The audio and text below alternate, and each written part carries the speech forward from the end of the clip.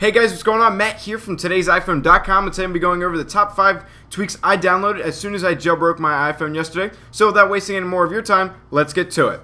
Okay, so the first tweak I downloaded was BiteSMS. Byte SMS is a messaging application on steroids. It makes the basic messaging, stock iOS messaging application look like junk. It blows out of the water, it has quick reply, has all these great little features inside the application. Now, I'm not going to open up and show it to you guys because a lot of you guys have been messaging me, all your phone numbers are there. I don't want to post that kind of information uh, just to, you know, save you guys your privacy. Uh, I will not be opening it, but take my word for it, it is well worth the purchase.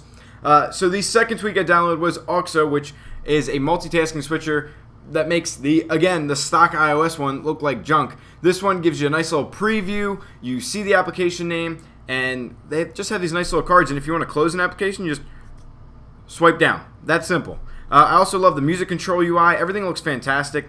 Uh, and then here, quick toggles, quick beautiful toggles by the way. So you can go up, you can get your cellular, you can get your GPS, you can get your Wi-Fi, your Bluetooth, all that great stuff right there. So that was the second tweak I downloaded, which was Auxo.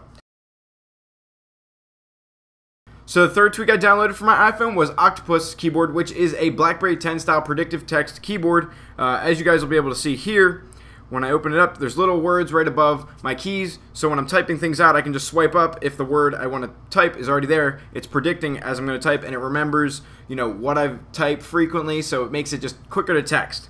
So let's just type out something. My brain is the best.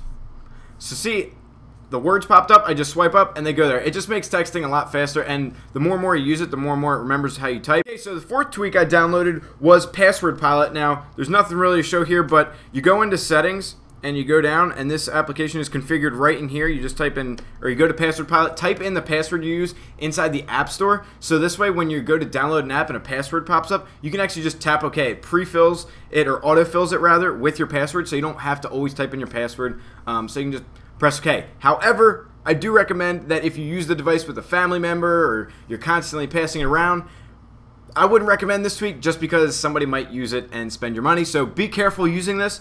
I do lock my device, so uh, I feel a little bit secure and safe doing this, but I, wouldn't be handing it to a little kid to go around in the App Store and play games. So the fifth tweak I downloaded was InstaSnap, which adds in a tap to snap option in your notification center, which this is just very convenient because I do sometimes use the tap to tweet, but I'm always taking pictures and posting them on Instagram. And if you're not following me on Instagram, it's at Matt Sholly. But here's what this tweak does. You just tap Takes you right into Instagram. It's going to open up the camera application, and you're ready to go. I did do a review of this on the channel as well. Um, but that was the fifth tweak I downloaded. I have downloaded a ton of more tweaks since then and just played around with stuff. I will be posting videos on those tweaks as soon as I feel comfortable with them and think they're reliable and stable. Some are not at this point in time.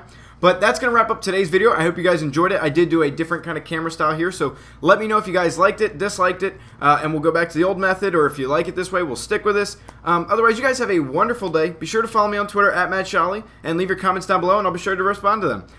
You guys have a wonderful day, and as always, peace.